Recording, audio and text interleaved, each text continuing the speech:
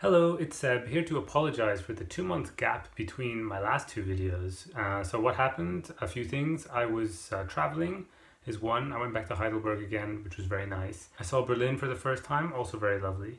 So usually around this time of year, I do like a Greek myth retelling month uh, where I read like a whole bunch of Greek myth retellings. But kind of this year, instead of a whole bunch, it became mainly focused on Ulysses uh, by James Joyce. Um, his sort of like sort of semi retelling of, of the Odysseus myth, only set in uh, the Dublin, like in one day in Dublin, and it's just like people walking around Dublin, um, and modernist book thing that that is. So I'm reading that, but that because I was a library book, I had to return every single copy that I had of it. I had a bunch of copies, but I had to return all of them before I really got started. Um, I read the first chapter, but then they all had to go back, and so I started reading this as a sort of supplement. Uh, the first, well, this is two books actually. Oops, there goes my bookmark. I need that. Uh, hang on a second. So this book is called The Poems of Exile uh, by Ovid, the Roman poet, translated by Peter Green. Um, it's actually two books in one. It's the Tristia, written by Ovid, and then what was written afterwards, the Black Sea Letters. So these are autobiographical poems that uh, Ovid wrote after he was exiled to the Black Sea, uh, away from Rome. And he's basically very sad and keeps writing these poems, basically writing back to Rome, back to his homeland, uh, which is really interesting when you think about it uh, in comparison with Ulysses, because that's also Joyce, sort of exiled from Ireland, sort of self imposed exile, and in a way also writing back to Ireland and about Dublin. Um, but yeah, I hadn't actually thought about that until now, so now I'm you know I'm going to think about that a bit more. But um, why is this Greek myth related? Because Ovid is obsessed with Greek myths. He is a living encyclopedia of Greek myths, and he always uses Greek myths to uh, describe his situations and to basically complain about why his life is so terrible. Like he says, Odysseus didn't have it as bad as I did because Odysseus only had to go between Troy and Ithaca, and then he shows you on the map that actually the distance that he was exiled was much further, and his voyage which was much worse. And uh, the god that was chasing Odysseus was Poseidon, whereas for him it's uh, the Emperor Augustus, and like he basically says Augustus is the Zeus of, of Romans, and so he's much worse than Poseidon. And anyway, there's lots of Greek myth references all the way through, um, and some of it's really exciting because like I've never read some of the Greek myth references like in a in a classical source.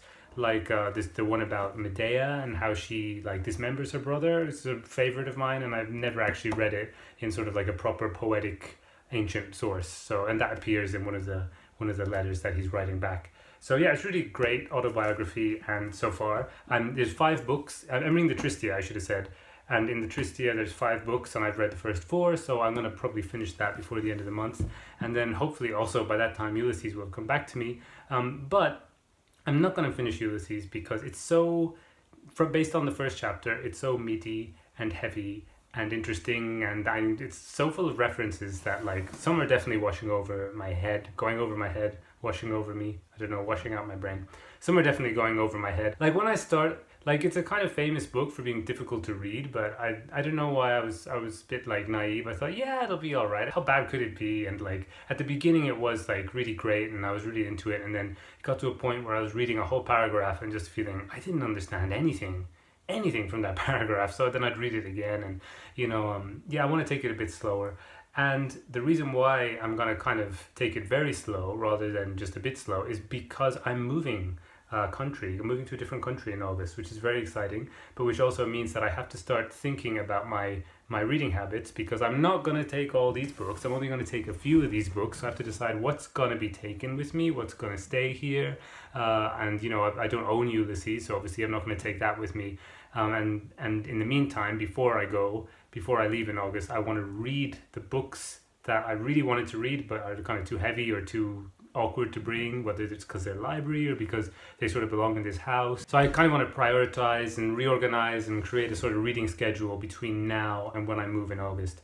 So uh, yeah, like I'm still gonna finish uh, Tristia for sure. And my next video, I guess I'll do a Greek myth related video. I don't know what yet. I'll think of I'll think of something. I'll, I'll come up with something.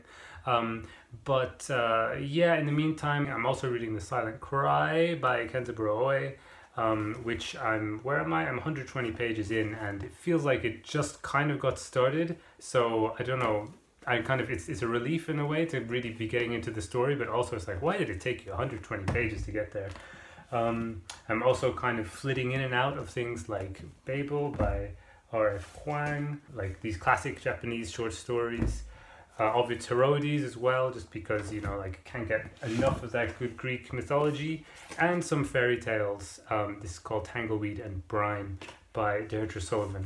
And, uh, and some other short story books and stuff like that. Like I've been really, my mood has just been like kind of flitting around books and sometimes picking something up and putting something down um, lately, except for the big projects of Ulysses and Tristia which hopefully uh, Tristia will be finished soon, and then Ulysses will be finished.